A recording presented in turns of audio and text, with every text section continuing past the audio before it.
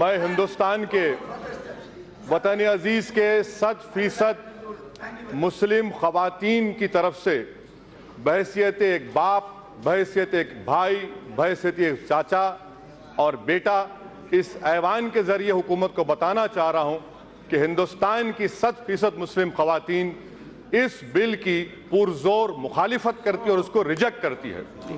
دوسری بات، madam speaker, یہ جو بل لایا گیا میں اس کی مخالفت کیوں کرتا ہوں؟ اس لیے کرتا ہوں کیونکہ ہندوستان کی آئین، ہندوستان کے سمویدھان کی دفعہ چودہ، دفعہ پندرہ، دفعہ چھبیس اور دفعہ انتیس اور ہمارے سمویدھان کا جو پریامبل ہے، جس میں صاف طور سے لکھا گیا کہ guarantees liberty of thought expression belief faith and worship اس بنیاد پر میں اس کی مخالفت کرتا ہوں۔ میڈم سپیکر صاحبہ میں آپ کے ذریعے حکومت سے پوچھنا چاہتا ہوں کہ آخر یہ آپ کی کون سی مجبوری ہے کہ ہمارے وطن عزیز میں ہومس سیکسوالٹی کو ڈیکرملائز کر دیا گیا؟ 377 کا ججمنٹ ہے ہومس سیکسوالٹی ڈیکرملائز کر دیا گیا اور آپ ٹرپل طلاق کو کرملائز کر رہے ہیں۔ ایک مرد اور مرد، ایک خاتون اور خاتون اپنے ساتھ رہ کر جو بھی کرنا چاہے کر سکتے ہیں۔ اس پر آپ کو آپتی نہیں ہے۔ آپ کو آپتی ہے کہ ٹرپل طلاق کو کرملائز کیا جا رہا ہے۔ کیوں کیا جا رہا ہے؟ کیونکہ استعمال ہمارے خلاف ہوگا۔ دوسری بات میڈم سپیکر صاحبہ ایڈلٹری کا قانون۔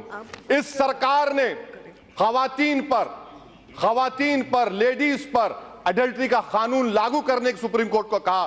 سپریم کورٹ نے اس کو ڈیکرملائز کر دیا گیا۔ اور آپ ایڈلٹری کو سپریم کورٹ نے ڈیکرملائز کر دیا گیا۔ آپ کو خاموش بیٹھے رہے، مگر ٹرپل طلاق کا معاملہ کرمنلائز کر رہے۔ ہیں madam prevention of corruption act لے لیجیے کہ اگر کوئی کرپشن اگر کوئی پیسہ لیتا ہے پبلک بینیفٹ کے لیے نہیں تو آپ نے ڈیکرملائز کر دیا مگر ٹرپل طلاق کو آپ کرمنلائز کر رہے ہیں میڈم سپیکر صاحبہ یہ قانون سمویدھان کے خلاف کیوں ہے آپ نے صحیح کہا اس چیئر پر سے بیٹھ کر کہ یہ پرتھا ہندوؤں میں نہیں ہے مسلمانوں میں مگر میڈم سپیکر میں بڑی عزت کے ساتھ آپ کے سامنے عرض کرنا چاہوں گا کہ ہمارے ملک میں وطن عزیز میں ڈیورس کے قانون میں اگر کسی ہندو کا ڈیورس ہوتا ہے، ایک سال کی سزا کیوں ہے اس کو؟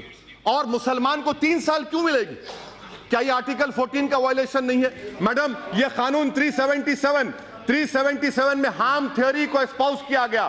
ہام تھیوری کے خلاف ہے یہ ایکٹ اور میڈم میں آپ کے ذریعے سے بتانا چاہ رہا ہوں کہ ہمارے منتری صاحب صاحب نے بڑی، بڑے پرجوش طریقے سے کہا کہ سپریم کورٹ نے انکانسٹیٹیوشن قرار دیا۔ میں آپ کے ذریعے سے ان سے سیکھنا چاہ رہا ہوں۔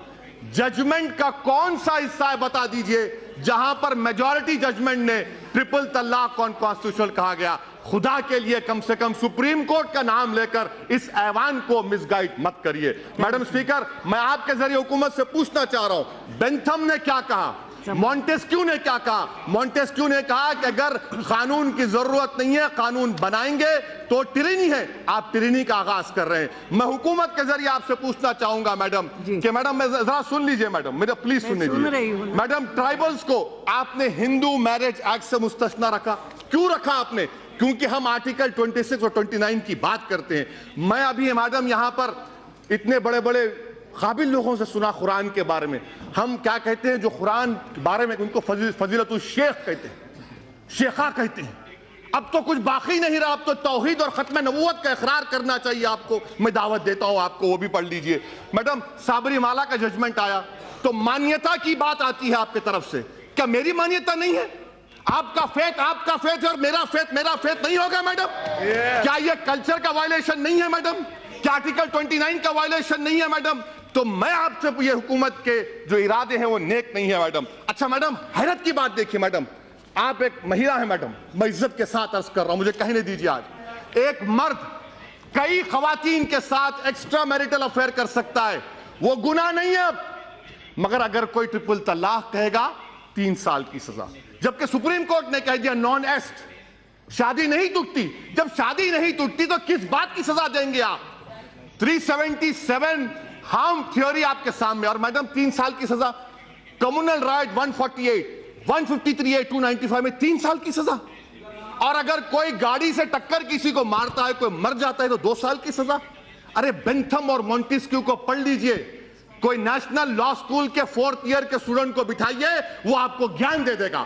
اور یقیناً یہ بات صحیح ہے کہ اسلام میں شادی ایک کانٹریکٹ ہے۔ میں آپ کو تجویز پیش کر رہا ہوں۔ کنڈیشن لکھیے۔ کہ اگر کوئی مسلمان نکاح میں لکھیے اگر ٹرپل طلاق دے گا، تو مہر کا جو اماؤنٹ ہوگا، اس کا ڈبل ٹرپل دینا پڑے گا۔ اس کا وائلیشن ہوگا تو جیل جاتے آپ۔ کانٹریکٹ ہے۔ کانٹریکٹ کا وائلیشن ہے۔ آپ یہ بھی بتا دیجیے۔ آپ یہ بھی لکھ سکتے تھے کہ اگر کوئی تین بار کہے گا تو ایک بار ہے۔ وہ بھی نہیں کرتے آپ۔ اس کا بھی پروویژن ہے۔ مگر مقصد کیا ہے کہ جیل کو بھجانا؟ ان کو خواتین سے محبت نہیں ہے۔ سب سے سلاؤس کون دے گا؟ ایک مہیلا کیا چاہتی ہے میڈم؟ اس کے سر پر گھر رہے چھت رہے ٹیبل پر کھانا رہے بچوں کے لیے فیس کا انتظام ہو جائے۔ آپ کریں گے؟ آپ کریں گے ہم لوگ؟ اچھا میڈم مجھے پوچھنا چاہ رہا ہوں شاعرہ بانو تو بی جے پی میں آ گئی۔ کیا کیا آپ نے اس کا بتائیے؟ کچھ کیا آپ نے اس کے لیے؟ میڈم میں ختم کر رہا ہوں میڈم ختم کر رہا ہوں میڈم میں ختم کر رہا ہوں میڈم میں ختم کر رہا ہوں میڈم۔ کیونکہ یہ جو قانون بنانے جا رہے ہیں میڈم یہ راس طور پر مسلمانوں کی۔ آپ دیکھیں میڈم سیکشول مائنورٹیز کو 377 میں چوائس دے دیا گیا۔ ریلیجیس مائنورٹیز کو کیوں نہیں ملے گا؟ ہندوستان کے کانسٹیوشن میں چوائس جورسپوڈنس ہے، مجھے نہیں ملے گا۔ آپ کا قانون ریلیجن کے خلاف ہے۔ آپ پولارٹی کو ختم کرنا چاہتے ہیں، اس سے صاف ظاہر ہو گیا۔ آپ مسلم خواتین کے انصاف کے لیے نہیں، بلکہ آپ کا نشانہ اس وقت ثابت ہو گیا جب سپریم کورٹ میں اس وقت کے اٹرنی جنرل نے کھڑے ہو کر کہا کہ ہر قانون کو مٹا دو۔